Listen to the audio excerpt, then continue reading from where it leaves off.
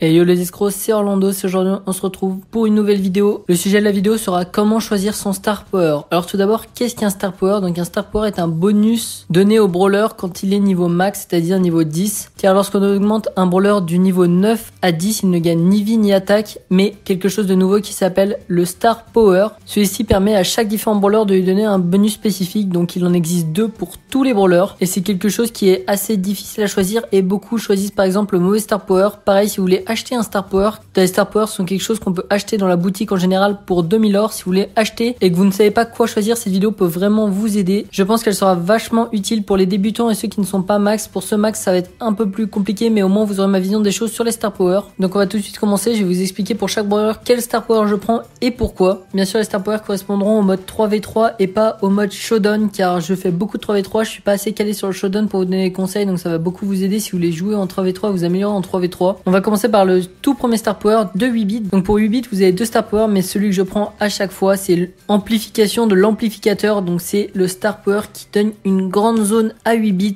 Elle lui permet d'augmenter la portée de l'amplificateur, donc de sa tourelle de 50%, contrairement à l'autre qui vous permet de réciter une fois. Mais pour moi, le Star Power grande zone est vachement plus efficace en 3v3 car elle booste vraiment la totalité de votre team. Je vous conseille vraiment celui-là. On part sur le prochain brawler qui est Barley. Donc vous avez deux Star Power, l'usage médicinal et l'autre Star Power qui vous permet d'augmenter vos dégâts. Je vous conseille vraiment quand il y a un Barley en face d'utiliser l'usage médicinal. Donc c'est celui qui est le plus polyvalent. Il est fort un peu de partout, mais surtout en 1v1 Barley, si vous avez celui-là, vous allez gagner. Alors que si vous avez l'autre, vous allez perdre. Je vous conseille vraiment lui. Mais si vous êtes sûr qu'il n'y a pas de Barley en face, vous pouvez à la limite prendre le dégât qui sera plus utile. Pour B, je vous conseille vraiment la recharge instantanée qui lui permet d'avoir deux fois son gros shoot. C'est-à-dire si elle rate un tir chargé, elle en a un deuxième. Contrairement à son Star Power qui la protège de la mort une fois en lui mettant un bouclier et la laissant à 1 PV. Le problème est que ce Star Power ne marche qu'une seule fois dans la game, donc il n'est pas vraiment utile. Une fois que vous l'avez plus, c'est comme si vous avez plus Star Power. Je conseille vraiment du coup la recharge instantanée. Ensuite pour Bibi, moi je vous conseille le Star Power court, Billy court, c'est celui qui vous permet d'aller plus vite, de vous dépasser plus vite, ça vous permet de plus facilement esquiver les balles, de revenir plus vite. Pour moi il a que des avantages et dans une méta où les brawlers de loin sont vraiment très forts tels que Bee et Sprout, le bouclier n'est pas forcément utile parce que la Bee va quand même vous retourner.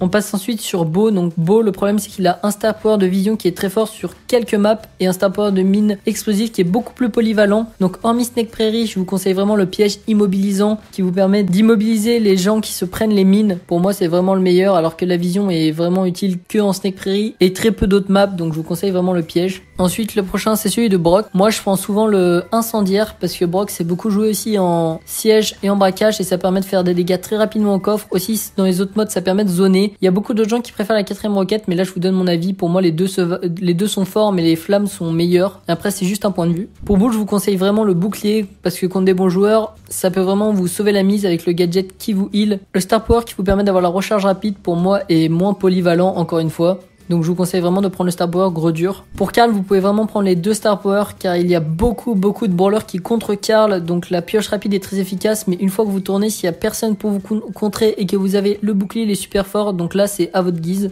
Mais en général, moi j'utilise plus la pirouette protectrice, donc qui est le Star Power du bouclier. Pour Colt, je suis pas un pro sur Colt. Moi j'utilise la distance parce que la distance permet d'avoir un avantage, mais après Peut-être que certains utilisent la vitesse, j'ai aucune info sur ça, donc moi je vous conseille personnellement de mon expérience la distance. Ensuite, on part sur Kor'bak qui a deux Star Power, donc un qui réduit les dégâts des adversaires et un qui vous permet de faire plus de dégâts. Donc je vous conseille vraiment en 3v3 de prendre celui qui réduit les dégâts des adversaires parce que ça va aider la totalité de votre team et pas que vous. Et en général, si vous mettez bien votre poison, ils sont un peu tous empoisonnés, ils auront toujours des dégâts réduits, donc c'est vraiment très très efficace. Je vous conseille vraiment le Star Power extra toxique. Ensuite, pour Daryl, pour moi, les deux Star Power sont vraiment très puissants car la recharge rapide permet d'être très très efficace. Par exemple, en braquage, c'est un des, meilleurs exemples. Mais l'anneau de fer vous permet de tanker les balles quand vous roulez. Vous êtes quasiment intuable pendant que vous roulez et du coup c'est très pratique pour rusher des ennemis au corps à corps sans qu'ils vous mettent de dégâts donc moi je jouerais principalement l'anneau de fer mais après c'est à votre guise pour le Jean, bien sûr, c'est encore du 3v3, donc les dégâts ne sont pas vraiment super utiles car vous utilisez votre grab souvent. Je vous conseille le Star Power Tour de Magie qui vous permet de heal vos alliés de 400 points par seconde, donc c'est vraiment très efficace quand vous êtes assez pack. Je vous conseille vraiment celui-là. Pour Dynamite, il a deux Star Power et là c'est assez difficile parce que le Star Power de dégâts est vraiment très fort quand vous êtes un débutant et même quand vous êtes à haut niveau. Mais très très bien joué, le Star Power de saut devient vraiment monstrueux, donc après c'est à vous de voir si vous voulez sauter ou faire beaucoup de dégâts avec la grosse bombe. Pour Ems, avant la mise à jour, je vous aurais directement dit le heal, sauf que maintenant je trouve qu'on a un peu plus le choix, les dégâts sont aussi très forts, mais je placerai toujours le heal au-dessus, car avec les tourelles, etc., vous êtes quasi indestructible. Une fois que vous avez 3 ou 4 trucs dans votre zone,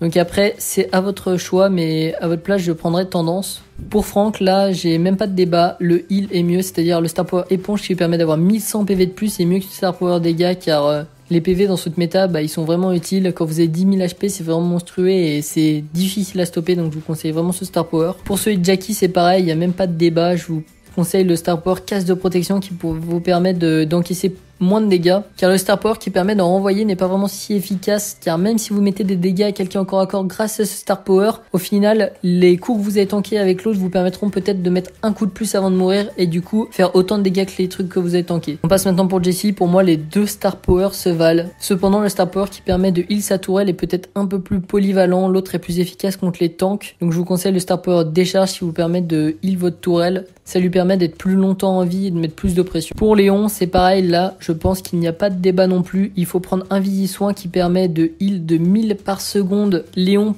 quand il est invisible et c'est vraiment monstrueux car il devient quasiment intuable quand il est invisible. Alors que la vitesse oui il va vite mais c'est pas si efficace que ça. Donc je vous conseille vraiment un visi soin. Ensuite pour Max encore deux star power qui sont assez forts mais le meilleur pour moi est recharge éclair qui vous permet de recharger plus vite en vous déplaçant car vous n'êtes jamais à court de mission. Et grâce à ça vous pouvez charger quasi aussi vite votre ulti que avec l'autre star power.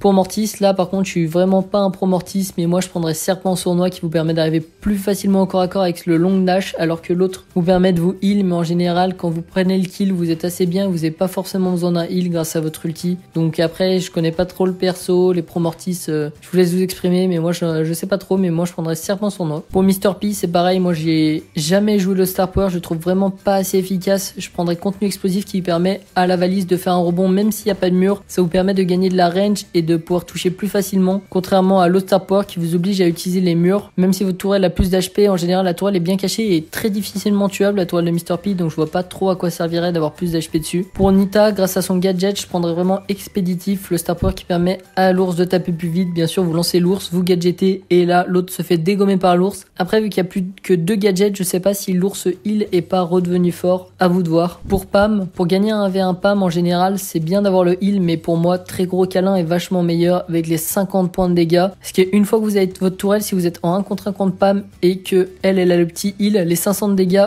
vont complètement annuler son Star Power et même faire plus de dégâts que prévu. Donc je vous conseille vraiment ça. Pour Penny, donc il y a deux écoles. Il y a l'école des boules de feu et l'école des mortiers qui explosent. Donc moi, je fais partie de celle des boules de feu qui permettent de mettre une pression de monstrueuse au mid. L'autre est plus situationnel car je pense qu'il est plus utile en siège quand vous pouvez faire exploser votre mortier, mettre beaucoup de dégâts, mais sur le contrôle de mid il est vachement moins efficace. Donc en généralité, je vous conseillerais boule de feu. Pour Piper, vu que les maps actuelles sont blindées de bush, je vous conseillerais vraiment le Star Power embuscade qui vous permet d'avoir 800 de points de dégâts supplémentaires quand vous êtes dans les bush. Le Star Power est par contre utile sur les maps où bien sûr il n'y a pas de bush, mais là c'est à vous de voir. Pour Poco, je suis un grand fan du Poco Tintamar, mais je vous conseillerais quand même le Star Power d'Acapo qui permet de heal ses alliés, qui est très très fort. L'autre est plus amusant que fort. Donc vraiment, si vous voulez choisir quelque chose et que vous voulez jouer Poco avec des tanks, prenez le Star Power d'Acapo qui permet de heal. Pour Primo, vous avez deux Star Power, le Star Power qui met en feu, le Star Power Météor qui vous permet de courir plus vite. Donc moi, je joue beaucoup le Star Power Météor qui vous permet certaines choses. Quand vous sautez par exemple sur une Ems et qu'elle vous repousse, il vous permet de vous rapprocher facilement. Il vous permet aussi d'esquiver des balles facilement et de toujours rester au contact de l'adversaire. Avec le Star Power des flammes, c'est plus si vous sautez sur l'adversaire que ça le propulse trop loin, vous ne pourrez plus le rattraper et vous perdrez votre fight. Donc vraiment, conseil, prenez Météor. Ensuite, pour Rico, j'étais un très très grand fan de la vitesse, mais un jour j'ai retesté les rebonds et j'ai vu que ça faisait vraiment une différence de ouf. Donc la vitesse est très très bien, les rebonds sont très très bien. Là, vous avez complètement le choix. Pour moi, ça s'équivaut beaucoup. Sauf que moi, je joue plus super rebond que la vitesse, car les dégâts ne sont pas négligeables. Pour Rosa, là, il n'y a même pas de débat. J'ai même fait un moment un sondage sur mon Twitter pour savoir ce que les gens en pensaient. Et bien sûr, c'est soin par les plantes, vu qu'il y a des bush partout et que votre gadget permet de mettre des bush. Prenez le heal dans les bush, vous aurez un avantage de fou. Le Star Power est pour moi beaucoup moins utile. Pour Sandy, c'est comme plein d'autres brawlers, les deux Star Power sont forts, mais je pense vraiment que au final, le Star Power qui permet de mettre des dégâts, donc le Star Power sablage, est meilleur qu'elle vous permet de donner la vision dans les buissons, par exemple, en posant votre tempête sur les buissons, et vous permet de donner la vision dans la tempête ennemie aussi. Pour Shelly, donc ça fait très très longtemps que j'ai pas joué Shelly, je peux vraiment pas vous aider, moi je prends le pansement comme ça, mais je pense que le ralentissement est aussi très fort, là c'est à vous de choisir. Pour le Spike, les deux Star Power sont très très forts, donc